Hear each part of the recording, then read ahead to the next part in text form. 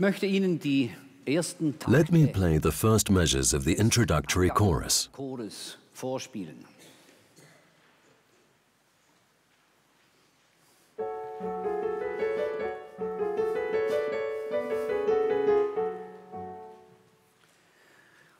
Bum, ta da di di di di da, di-di-di-di-di-da, di di di di di di di bum. Two oboes plus staccato. The three upper strings, violins 1 and 2, and violas in unison.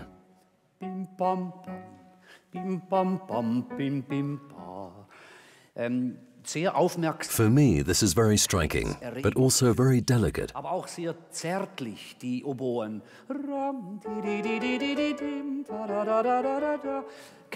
No bass section. The strings take over the bass section, called a bassetto, or a bassettchen in German. Sprachgebrauch. Und dann nachher And then the entire orchestra, with the horn, plays. Pam, pam, tim, tim. Jetzt kommen wieder Now the oboes enter again, in major.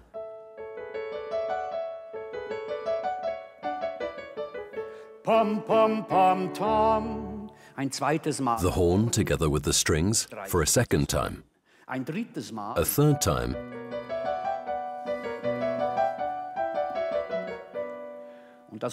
and then the horn.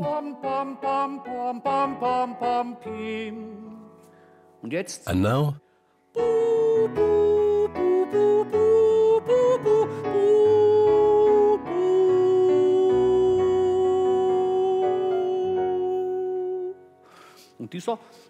This cadence sounds as though the piece were already over. Und die Kenntnis And the connoisseurs among you might say, this could be a chorale. sein. Haben Sie völlig. And you'd be totally right. Und weil Neujahr And because it's the new year, let's start with a little singing.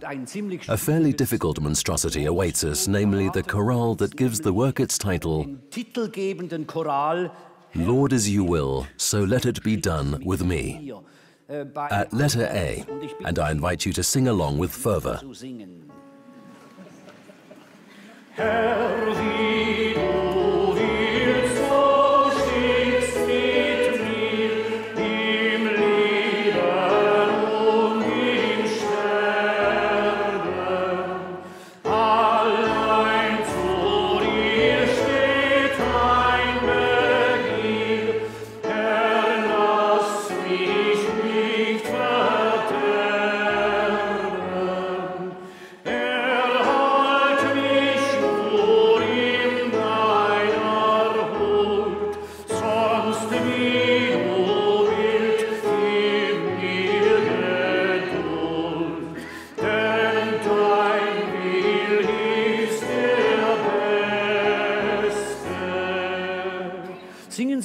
Sing the last phrase again. nochmals.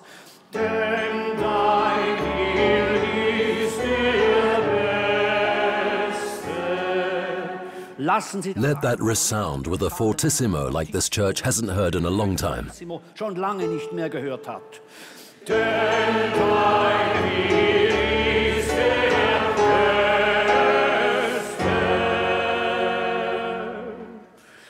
It sounds really convincing for a New Year's cantata. Is it a New Year's cantata? No.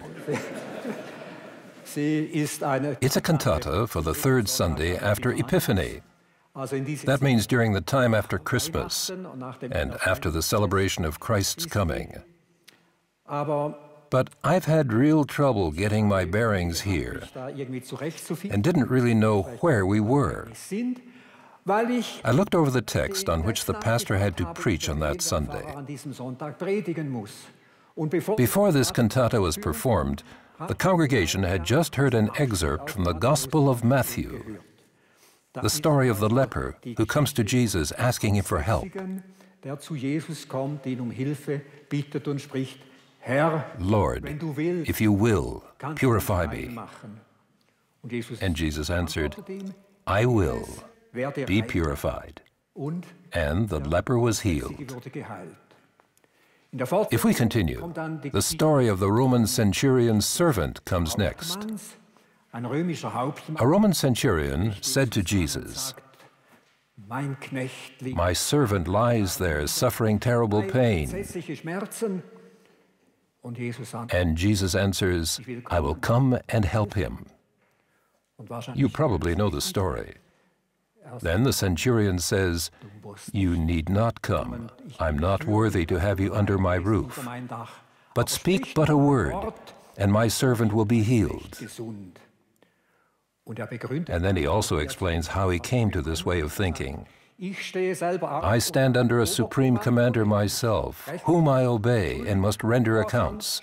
But I have soldiers under my command, and when I say to one, Do this, he does it. macht er's, und wenn ich sage, And if I say go, he goes. und stellt sie vor. And he imagines it's the same with Jesus.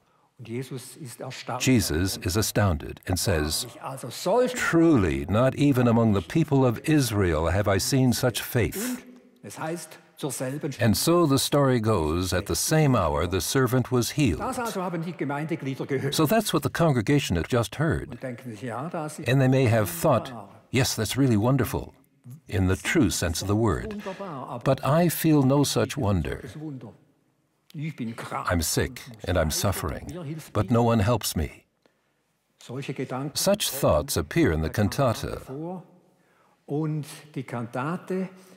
The cantata doesn't make healing the goal, wie wahrscheinlich der but rather, as was probably preached afterwards in those days, ist doch der how frail man is in his weakness. Er. He must suffer and finally die. Es kam mir der, I was reminded of the beautiful prayer by Edward Mörike, weil ja auch die alte which also uses the archaic spelling Lord, send me what thou wilt. Be it joy or pain.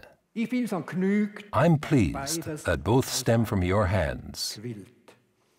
Könnte ein kleines This could also be a kind of motto for this cantata, couldn't it? Indeed. Und wenn ich And when I play this horn melody, which you may still have in your ears, and with its second appearance, and then the chorale, dem dein Heil der Beste. Hören Sie den? did you hear that chord? Das ist doch kein Certainly not a final cadence. So again, Time, dem dein Will ist der Beste. Nachher löst afterwards it slowly resolves.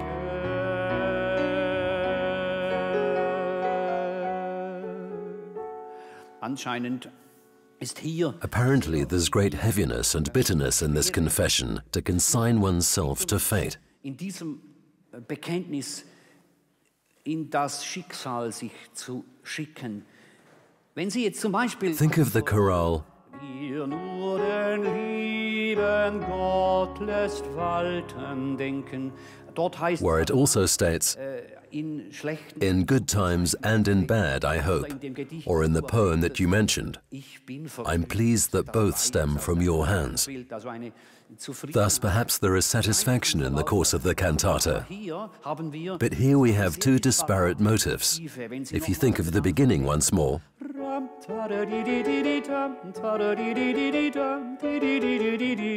pom, pom, pom, pom. Ich versuche das jetzt in einem nächsten. I'd like to try to decipher that in a further step. Ich für meine Verständnis As far as I understand Bach, I feel that the 43rd cantata, which we're performing here in Trogen, zur Aufführung bringt. so there have been quite a few performed here already. Große Zahl, die hier ähm, äh, erklungen sind. Ich würde I think this one contains a type of pleading from mankind. Bitten ist des Menschen, lieber Gott, Dear God, help me.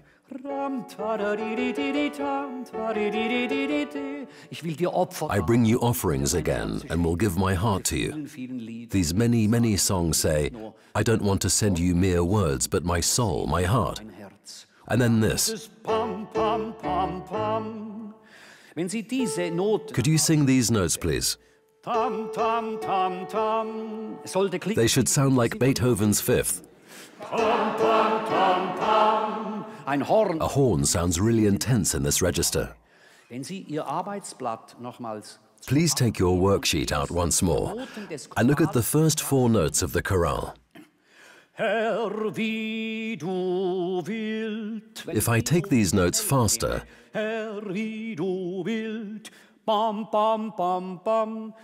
it's actually an instrumental representation of these words.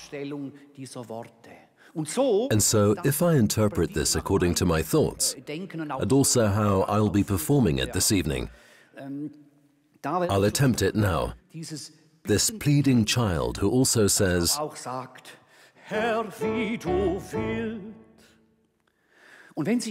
if you'd like to observe a really exciting phenomenon, look at letter B. That's where I wrote it down.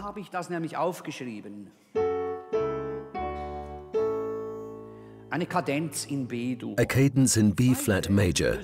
The second solution, number two, in letter B, goes and expands into the so-called subdominant. Afterwards, at three, we see how the choir joins in, in measure 10.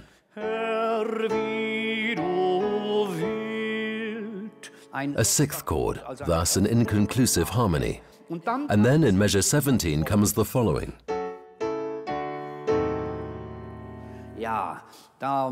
If I asked you what kind of chord that was, you would answer all at once? I heard it correctly, only a little too timidly. A diminished seventh chord, yes, and again in a completely new situation. What's puzzling is that this element is used continually. Housewives have similarly incredible types of resources. An all-purpose cleaning agent, and if wine is added or removed, one can also use it for military clothing. And when preparing your rifle, you can flush out the barrel, and it will no longer be rusty. Bach uses the diminished seventh chord as an all-purpose element, but one that has a giant range of application. But here's a sign that something horrible is going to happen, namely... Alas, but alas. We'll get to that, but we're not quite there yet. The ritornello passage, in other words, until the choir or the soloist enters, is rather long. May I play the progression for you again?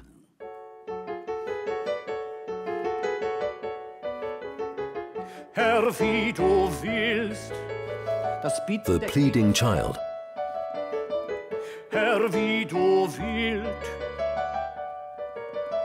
Now the horn. So schick's mit mir, so schick's mit mir, im Leben und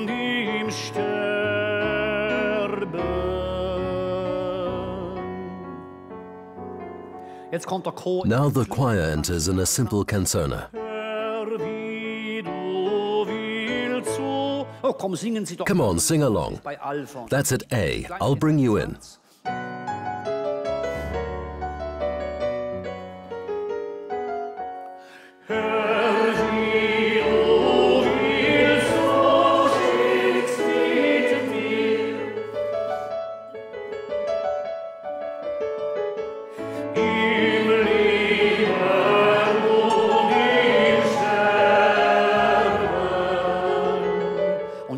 And now?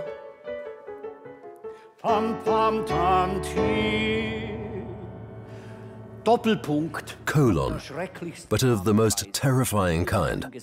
The diminished seventh chord indicates a new text. We have a special kind of poetry here, so-called troping. The poet has taken the chorale verse as a basis and has written his own text between the lines.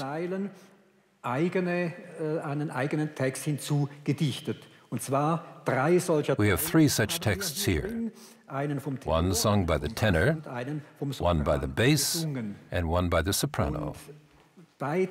All three express themselves in a certain way. Hear the tenor, who says, Yes, as thou wilt, but it's terrible. Your will I must suffer. My life is the target of misfortune, where anguish and misery must torture me alive. And even in death, my torments will scarcely leave me. So you see, it doesn't cease even in death. You can almost hear the leper calling for help.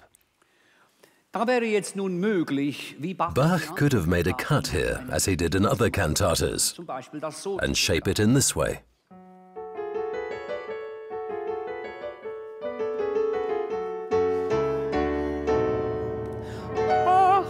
aber ach, wie wohl lässt mich dein Wille leiden.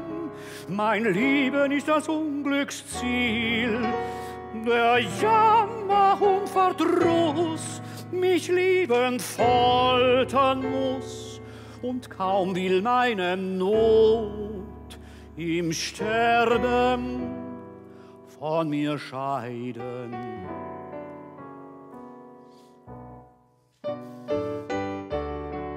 Allein zu dir ist mein Begier. Und dann wieder. And then a tempo once more. This is a possibility Bach uses, but always differently. Here, for example, in this line that I've sung, he has the tenor sing. I think you have sharp ears because you keep listening to our ideas. In other words, how does Bach represent things? It's clear. A high note after a rest. You see, another use of our magnificent chord.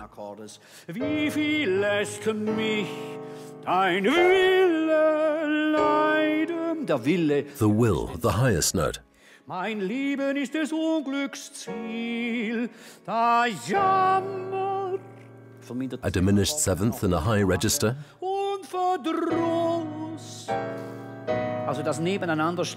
The juxtaposition of harmonies. A diminished seventh chord in a low register, lower and lower. Im Sterben von mir scheiden. But Bach lets that proceed almost a battuta. In other words, he doesn't let the tempo lag, but keeps it steady and constantly repeats this Lord, as you will. Always the same soprano melody, but always harmonized differently. Listen to the differences between. Or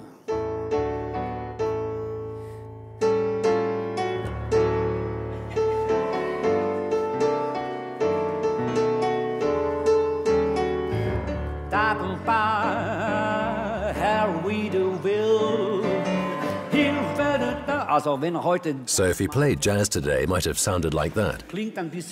Sounds a little too nice, though. This keeps returning. And then, what do the oboes play?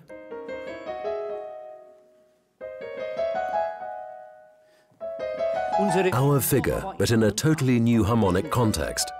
First anxious, then cautious, and always, Lord, as you will. And then the simple canzone again. And then afterwards, trope number two, the bass.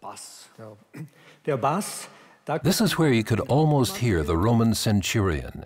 You are my helper, comfort, and treasure, who numbers the tears of the troubled. These are all texts from the Bible. In the Psalms, it's stated that God numbers our tears and their consolation, the pliable reed, not completely broken. And since you have chosen me, then speak a word of comfort and joy. Speak but a word, and my servant will be healed. O my soul.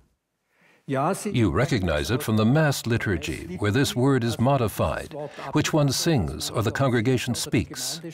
Lord, I'm not worthy to have you come under my roof, but speak but a word, and my soul will be healed.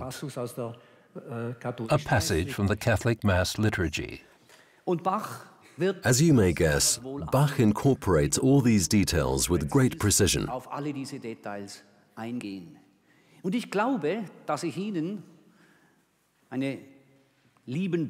I will ask you, dear Bach lovers, to perk up your fantastic ears and follow the melody. Not as though you are writing it down, but by feeling it, like a storm moving through the countryside. You see it immediately. There's been lightning, clouds threaten, some blue sky. Those are the dissonances and consonances in music. It may sound harsh or gentle, but really follow and listen to how these emotional lines proceed. Perhaps a few small details. The bass sings an inversion of Trost und Hort, so der betrübten Can you hear the thundering clouds of the diminished seventh chord?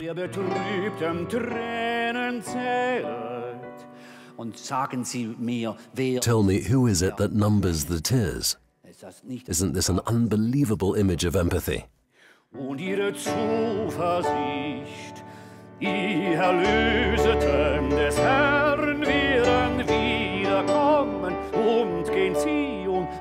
Sounds almost like Brahms' Requiem. Zuversicht und dann And then immediately, das schwache Rohr diminished seventh chord. Mich zerbricht, Herr, wie du willst mich erwählen, so sprich ein Trost und Freudenwort, erhalt uns nur in... Sing along, please. It's after the, at the top, after the repeat sign. I'll bring you in. Nur weil du mich erwählet, so sprich ein Trost und Freudenwort. Erhalt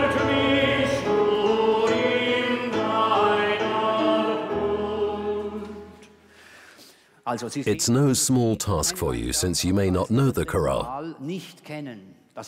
At least not many of you. I'll admit I didn't know it either. That's how it goes with chorales, whether they're sung or not. But I think the congregation of that time knew this chorale. Don't you, Karl? Yes, at least we assume so. Above all, what's interesting, it's sung to the tune of another really well known song. Where God the Lord does not dwell with us, all is lost with us. When a text is sung to a famous melody, it has a certain effect on the listener. Like when we hear a beautiful text. Kennest du Ansbach, die glorreiche Stadt der Franken?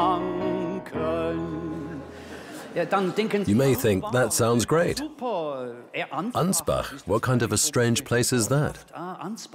Knowest thou Ansbach, the glorious town of the Franks? It doesn't quite rhyme, but I'm no poet, unfortunately. But you also hear, Praise the Lord. It sort of provides a mental backdrop and creates a special atmosphere. So you think it was probably like that? I think so too. There were probably people who could understand such small illusions right away. But a third person still speaks, namely the soprano. That could be the voice of the ailing servant. Äh, a very tricky text. Your will, though, is a sealed book. That's an expression out of Isaiah but used in a different sense there. There, the prophet says, You call it sealed only because you don't want to read or understand it. You could very well understand it if you wanted to. Here it says, Your will indeed is a sealed book that mankind's wisdom will never grasp. It confuses everything and sees the opposite.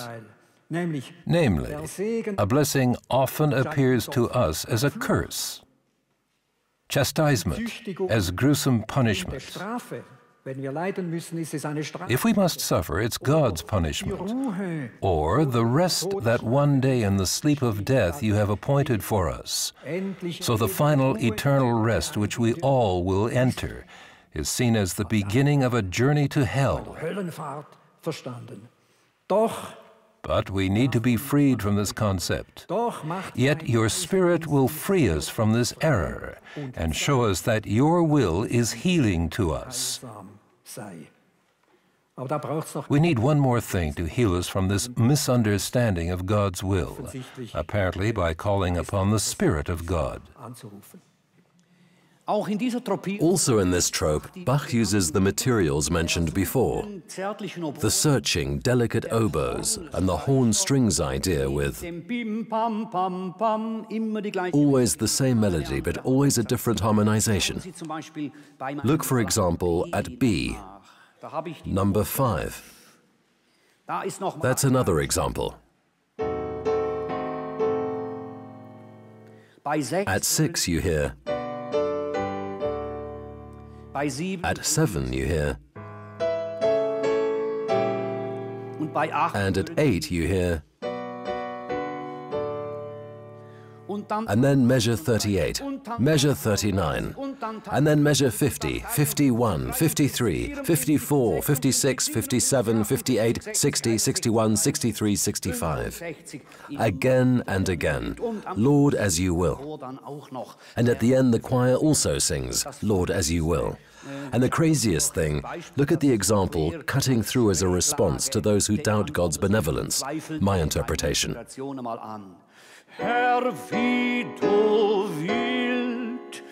Those are the last notes of the chorus, in the middle of the phrase. What does that mean? These are all dissonant harmonies, as if saying, Look here, I can't perceive what you expect from me, I can't understand, but I'll just say anyway, Lord, as you will.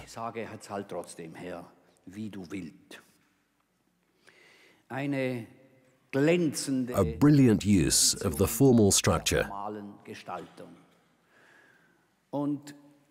Karl and I met in the cafe beforehand, and we said, who knows? Maybe Bach drank a beer with his librettists now and then and chatted with them. How can we make the third Sunday after Epiphany different this time? Last year it was this one foot in the grave. You had this wonderful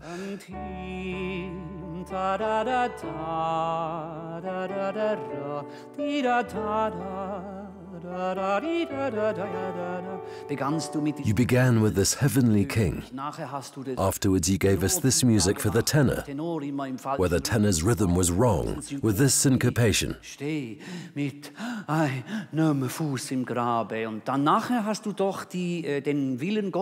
Then you represented God's will with this wonderful alto aria from couldn't we treat this aspect a little more this time? And maybe Bach, we don't know, while drinking his beer, I imagine surely not lime blossom tea, I'm convinced of that, or maybe wine, and while eating a bratwurst, he discussed with the others how to create a libretto that would lend a new aspect to the annual libretto text. of the leper and the centurion from Capernaum und des Hauptmann von Kapernaum darzustellen. Nun, die well, you'll hear the arrangement this evening.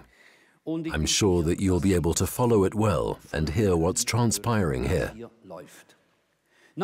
Afterwards, a short aria with oboe, basso continuo, and tenor. Maybe start with the text, Karl.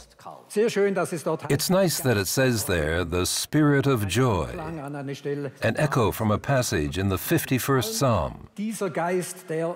This Spirit is now necessary because it's like a religious affliction. When one experiences doubts and then wishes to be healed from them.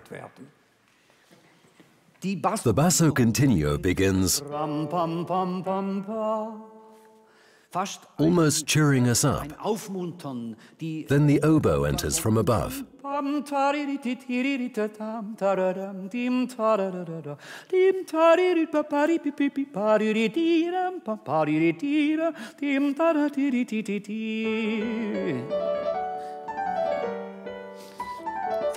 Almost gallant music when you hear it again.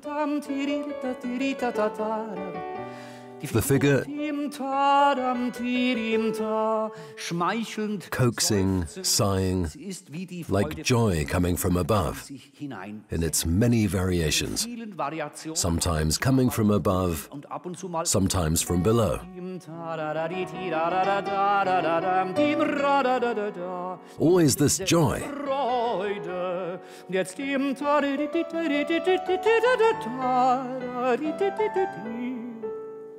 The figure turns into. The intervals are inverted. The entire aspect, the whole idea is viewed from different angles.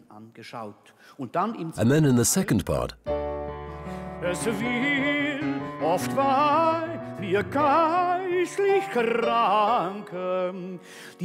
the joy motive moves to the bass.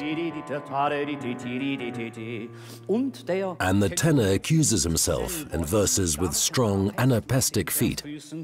Es will oft bei mir geistlich I won't ask you what it is, but you recognize it. A diminished interval. What's going on with the sick man? He falters, he hesitates, he hasn't much hope, he has a little hope.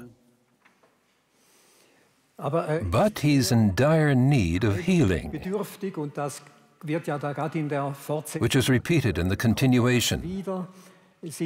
When you look at number three, the recitative, this is the only place where man's will is the subject. And this will remains corrupted. Apostle Paul says somewhere, That which I want, I will not do, and that which I really do not want, I will do. We've all experienced that. We intend to do something. We say we'll do it next time, and then we don't. Only a Christian, taught by God's Spirit, learns how to sink himself in God's will, meaning thinking about death and dying, the old question that man always suppresses, that he will die one day. How does Bach convey this? It's clear, isn't it? Absolutely. Unser Wille bleibt verkehrt. And this corrupted is subtly portrayed. Listen to the bass note.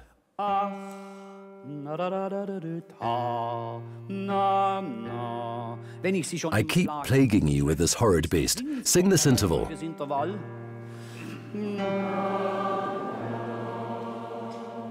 But not.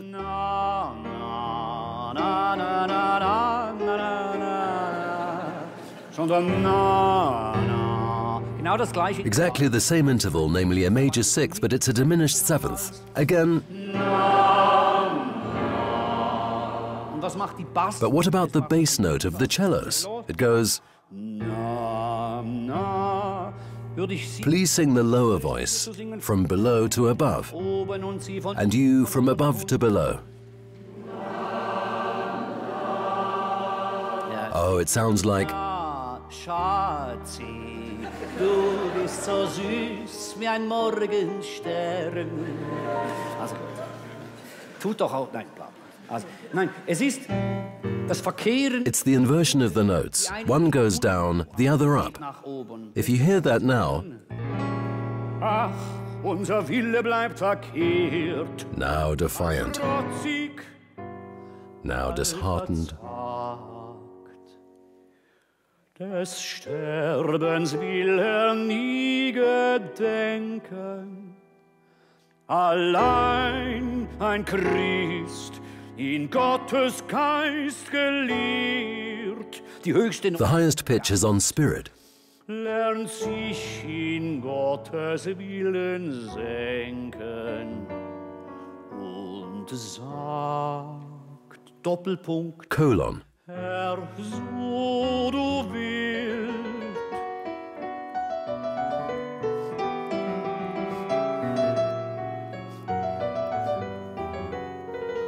Herr, so du willst. Herr, so du willst. Herr, so du willst. Kennen Sie das Lied? You know the song?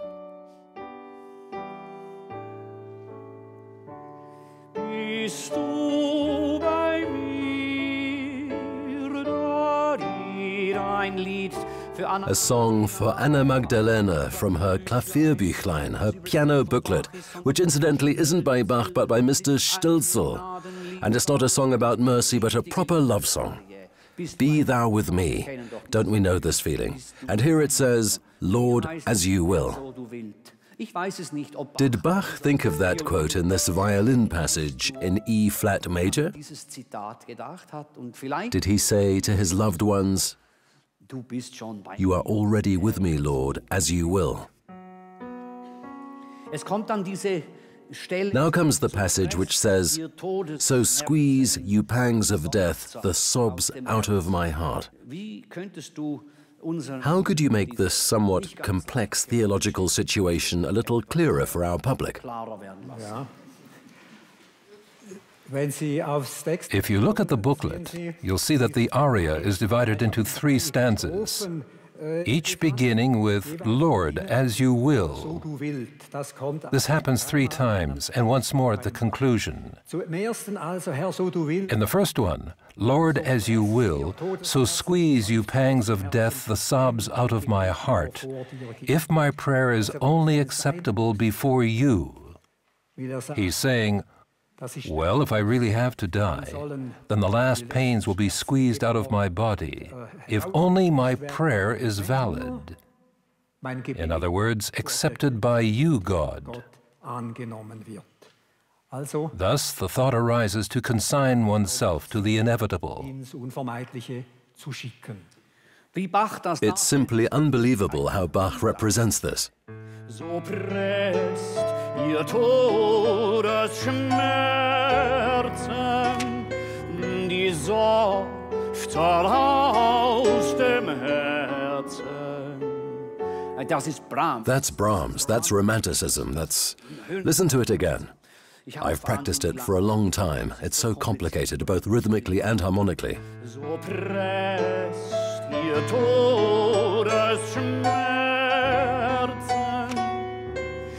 die Seufzer aus dem Herzen, wenn mein Gebet nur vor dir, Herr, so du willst. Dann wieder die Violine. Then the violins enter again.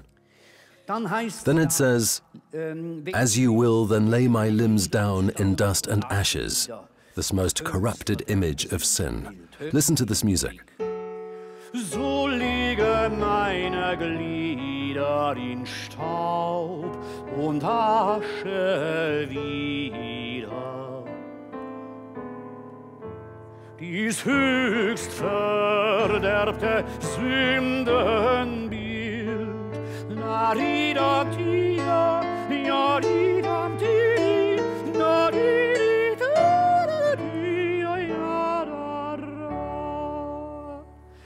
I realize again and again why Mendelssohn, why Schumann, why Brahms claimed he's simply the greatest.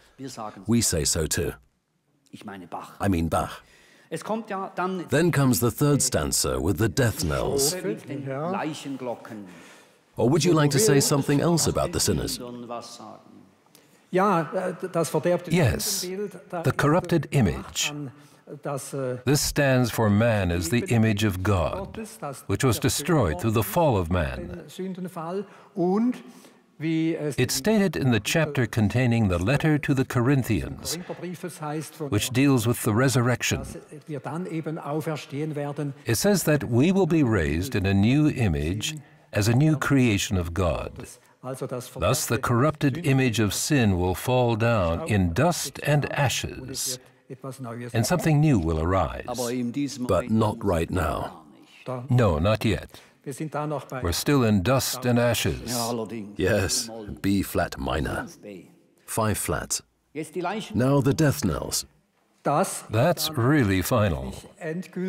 Then strike, funeral bells. I follow unafraid. My suffering is quieted from now on. In other words, I no longer need to wail and lament because death has been overcome. Requiem aeternam. Yes, ad requiem aeternam. I won't play this bit for you. You'll hear it tonight, and I'm sure your eyes will light up.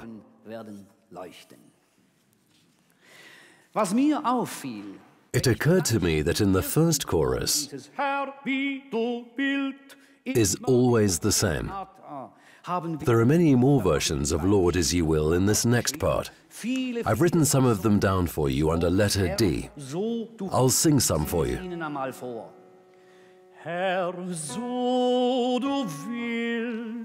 Then the violins come in.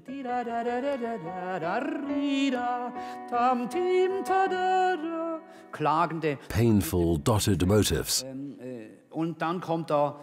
then the bass enters in measure 12. Sorry, the violin. Das hat Rudi Lutz. Rudi Lutz has written it like that, not Bach.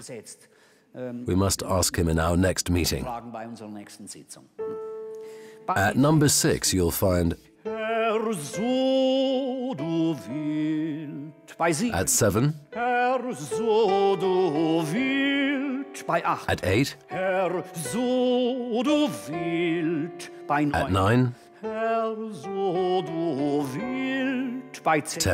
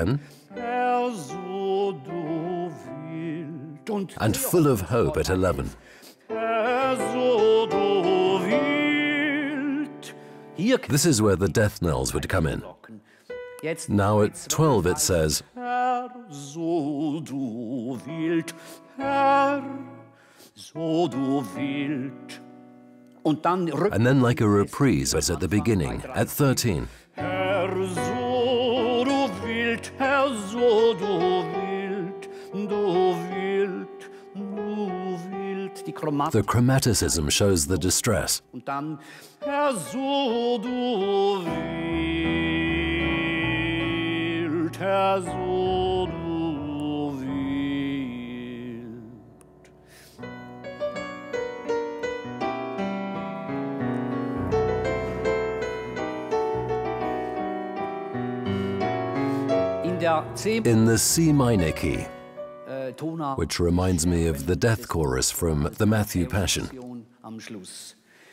Karl, tell me, why is it different here? Every imaginable variation has been played, always with the same idea. This isn't crazy. It conveys hope, or at least harmony. A small detail, but crucial for the librettist. At one point, it states, if you will. Final, definitive. This was how Jesus prayed in the Garden of Gethsemane. Not my will be done, but thine, as you will, if you will. Conditional, so to speak. The door is open, just a crack. I'll submit to God's will, but if it isn't absolutely necessary, maybe there's still a small chance. As if saying, let us have no doubt that God loves life, that He loves mankind, and that this love will not cease in death. And then a simple final chorus to the melody of I Shall Not Abandon God.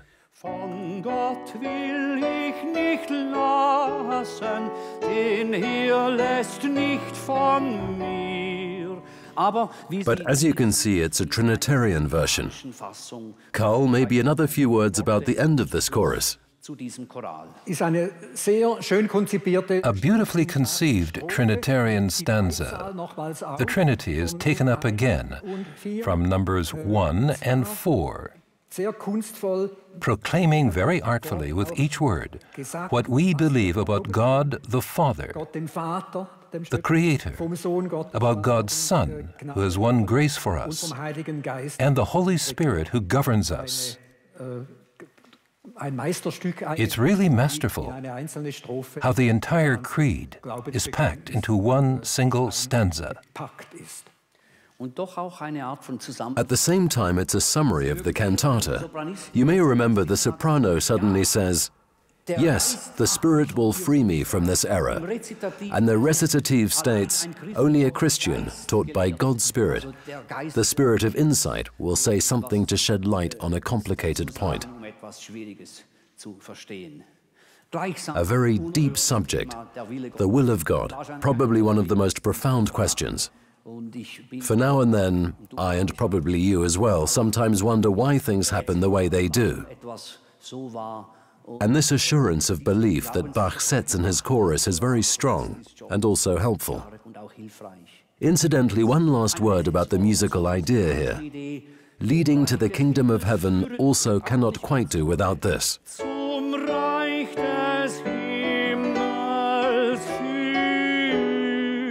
Here too, the second to last step is a diminished seventh chord. But then the tenors with